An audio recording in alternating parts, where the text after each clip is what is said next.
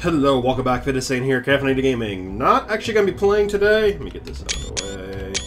No, today I'm actually going to be breaking down some numbers. Uh, yesterday I did a constructed tournament. Today I am uploading a draft. And I'm hoping people have gotten a chance to break down the numbers and see how the game, how it works. To see why you should be considering doing these modes, even if you're a so-so player or a new player and you're thinking of spending money. So, the premise of the video is you're Soul, new to SolForge, or you're playing SolForge, you like SolForge, you want to support the game, you're going to give them a little bit of money, a little bit of cash. How are you going to spend it? Well, the store, you can come here. I mean, first of all, there's always the options of just new deck slots, starter decks, skins, and then there's the packs. The packs are 70 gold, 900 silver, it's usually where most people's silver goes. 560 gold, 2500 gold. Gold, pretty expensive in this game. Actually, I think it's almost a little too expensive personally before this mode came out. Afterwards, it's all about getting started, but usually the way to go is just buy it less often and buy more of it. So 30,000 gold for 100 bucks. So that means, let's see, 30,000 gold, you can get 5,000 for two, so you get times six, you can get 12 premium packs for 100 bucks. Youch! That's expensive. So, there's no dra or there was no trading, no no crafting. That means for a long time, it was hard to get legendaries. Really hard to get legendaries. I did the 120, 110 dollar Kickstarter tier. I opened 145 booster packs because I did the pre-ordering. I got one of each starter deck, and I had 30 legendaries after all that. Plus, I've been playing for like a month and a half and collecting cards. Then along came this, well, actually probably close to three months. Then along came this patch, and here's what happens. You go to the Tournaments tab, and if you can make a constructed deck, cool. You get to play three tickets. Three tickets cost about 833 gold, because you're buying them in 10 packs. You're not buying them singly. You're not going to waste money, right? It's also known as 120,000 silver. You don't do that. Unless you really have every card you want, you just want to do the tickets, I would rather say if you're gonna, if you have every card you really want, save your silver for the next set. Buy mini packs for the next set. You play three rounds, you get tickets, you get your prizes. Draft, bigger, bigger cost to get in, bigger prize pool. Well, it comes to tickets, and you get to keep your cards. So, let's break it down. Draft costs 7 tickets, which translates to 1,750 gold, or 20, 280,000 silver. Hint, yeah. Players keep a hand of thir keep their deck of 30 cards after your draft. At least one is heroic. I would say usually two to five are heroic plus, so heroic, premium, or heroic or legendary. You play three games, zero to two wins gives you just a standard booster pack. Standard booster packs, I already showed you. They cost 560 gold. And three wins gives you a premium booster pack, 2500 gold. 2500 gold is also the cost of 10 tickets.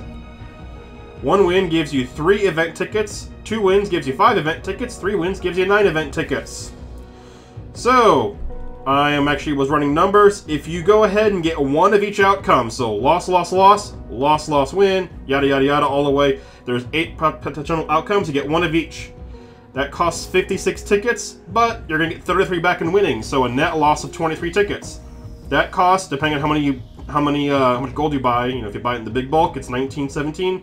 If you buy the little one, just a few times at you know, five bucks here, five bucks there, costs you twenty-two dollars and twelve cents. So I'll just say 1917 because 100 bucks is a lot to spend on this game, but you just buy it a lot less often. You know, you buy 100 bucks a couple times a year instead of five dollars every a couple times a month. In the end, you get eight standard packs, one premium pack, 240 coal, 20, 240 cards, at least eight of which are legend or heroic, I would say probably double that, call it 16 heroics, so it's kind of like 16 standard packs. So you get 16 plus, not 8 standard, 7 standard. So, seven, so you get 23 standard packs and one premium pack.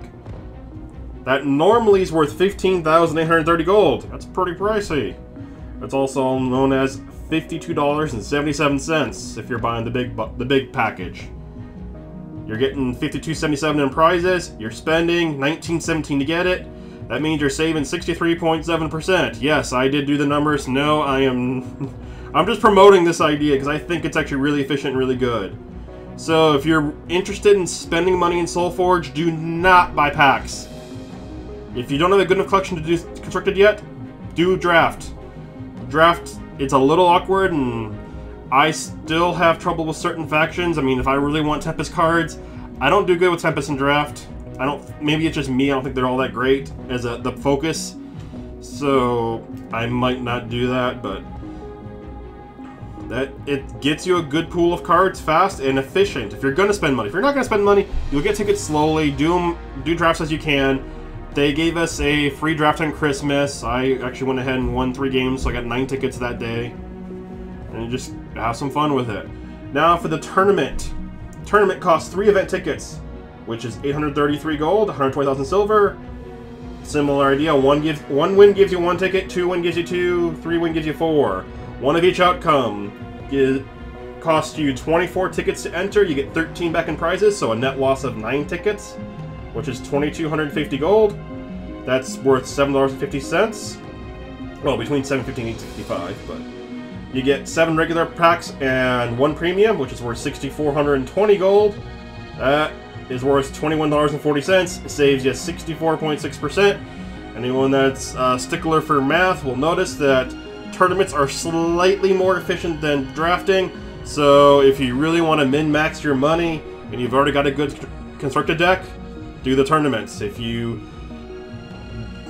don't have a good tournament deck or you just want to keep drafting lots of cards, maybe eventually we get uh, some sort of crafting system in game and you can use all those commons you're not using and it's actually pretty useful, then hey, maybe go ahead and uh, focus on the draft. But for now, the Constructed's a little bit better value, and it is way better value than going to store and buying packs for money. Just, as far as I'm concerned, just remove remove these two, the gold cost from them. Just don't buy it anymore, premium and in standard. Just don't. It's not worth it. If you're going to spend money on the game, do events. That's going to be it for today. I really love the new systems. All of my favorite CCGs are getting all these things in here. I, was, I love Hearthstone Arena. Infinity Wars comes out with a similar system with a very, very, very fair price model. SolForge got their system in. I played a lot of SolForge on vacation because I had an iPad with me and not a PC. Sorry, Infinity War. As soon as you're on iOS, uh, well, as soon as your main client's on iOS, you know I'll be playing that on iOS when I'm traveling. That's gonna do it for today. Don't buy packs, buy events. Thanks for watching. Have a great weekend. Bye.